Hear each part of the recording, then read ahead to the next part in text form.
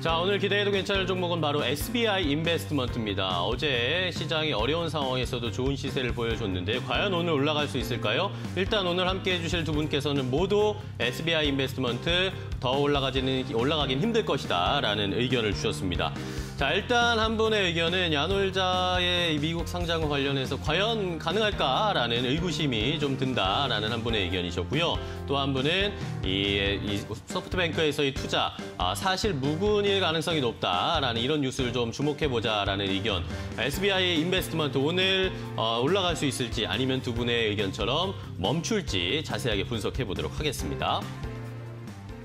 자, 두 분과 이야기 나눠보겠습니다. 오늘 기대해도 괜찮아는 레몬 리서치의 김민수 대표, 퀀텀 트레이딩의 나연진 대표 두 분과 함께하겠습니다. 두 분 안녕하세요. 반갑습니다. 자, 어제 SBI 인베스트먼트가 또 불을 뿜었습니다. 주가가 엄청나게 올라갔는데 이 야놀자의 상장과 관련해서 그리고 어, 또 소프트뱅크 쪽에서 투자 뭐 할 것이다 뭐 이런 이야기들이 나왔는데 일단은 이게 사실 무근인가요? 아직 뭐 부인하는 얘기가 안 나왔나요? 어떻게 들으셨나요, 두 분은?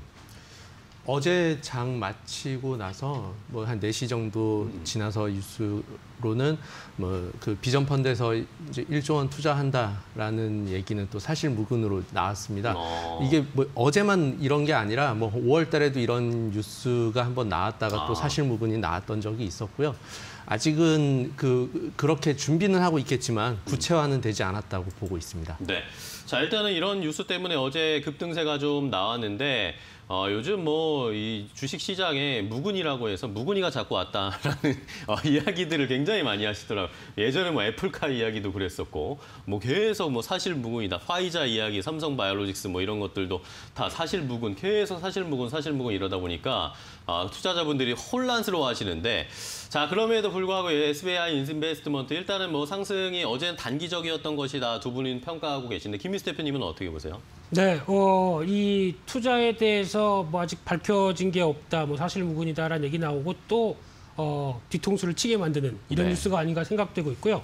그만큼 뉴스는 요즘 많은데 그에 따라서 좀 선별적으로 대응하는 게 맞지 않나 싶기 때문에 참 투자가 어려워졌습니다. 네. 어, 이런 뉴스가 난무하는 시장이 돼버렸고요. 네네. 그런 쪽에서 봤을 때 일단 어, SBI 지금 인베스트만 본다, 인베스트먼트만 본다고 하더라도 어, 실적 자체나 여러 가지 변화는 그래도 나아지고 있습니다. 그래서 기대감은 나쁘진 않은데 어, 어제 일로 뭐 시총이 한 3천억 대 이상까지 들어온다는 얘기는 약간 좀 부담은 될 수 있었던 어. 상황들이었고요. 게다가 어, 이런 벤처 투자 관련된 회사들의 가장 큰 어, 핵심은 exit를 해야 수익이 확정이 되죠. 그쵸. 그 그만큼 어, 뭔가 결과가 나와야 될 부분들인데 아직 진행되는 거 가지고 주가가 움직이기에는 좀 부담스러웠던 국면들도 있고요.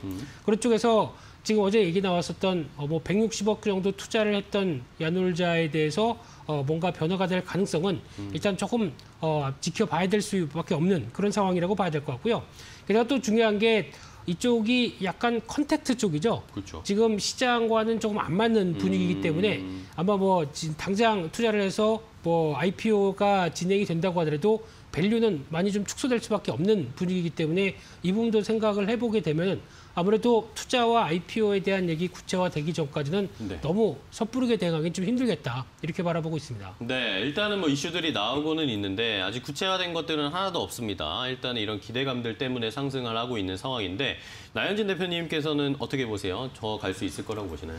예, 일단 창업 투자 회사 기업에 대해서는 좀 투, 어, 주의를 좀 피- 해볼 네네. 필요가 있는데 뭐 그 시리즈 D 레벨에서 1조 원의 평가를 받던 시절에 160억 투자가 들어갔습니다. 근데 어제 나온 기사를 기반으로 보면 요즘 나온 기사를 보면 비전 펀드에서 지분 10%를 인수하는데 뭐 기업 가치를 11조 이상으로 평가를 했다라고 해서 뭐 그 투자 수익이 10배 그러면은 160억 투자한 게 1,600억의 수익이 들어오는 게 아니라 예, 창업 투자 회사들은 기본적으로 자기 자본으로 투자를 하는 게 아니라 이제 펀드를 조성해서 그렇죠. 들어가는 방식이기 때문에 그 기대 수익이 뭐 160억이 1,600억이 되는 식의 뭐 그런 그 획기적인 건 아닌데 이제 주가에는 그런 식으로 좀 기대가 많이 돼서 반영이 되는 게 좀 있는 것 같습니다. 네, 좋습니다.